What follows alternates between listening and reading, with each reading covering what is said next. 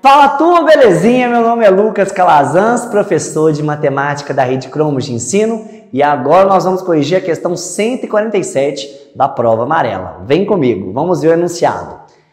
Um jardineiro dispõe de K metros lineares de cerca baixa para fazer um jardim ornamental, ou seja, o perímetro é K metros. O jardim delimitado por essa cerca deve ter a forma de um triângulo equilátero, um quadrado ou um hexágono regular, ou seja, polígonos regulares.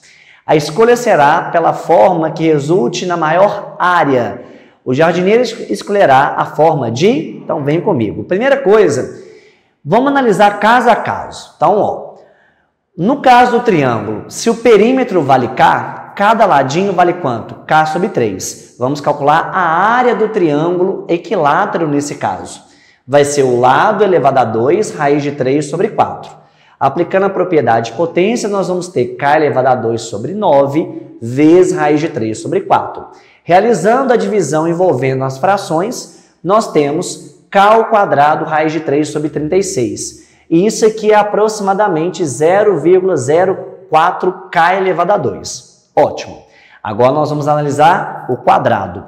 O quadrado possui quatro lados com o mesmo comprimento. Então eu pego o perímetro K e divido por 4 para descobrir a medida do lado. E a gente sabe que a área de um quadrado é o lado elevado a 2. Então K sobre 4 elevado a 2, K ao quadrado sobre 16. Isso é a mesma coisa de aproximadamente 0,06 K elevado a 2. Ótimo. E para a gente fechar, nós temos que no hexágono regular eu tenho seis lados todos com o mesmo tamanho. Se o perímetro é K, o valor do lado vale quanto? K sobre 6.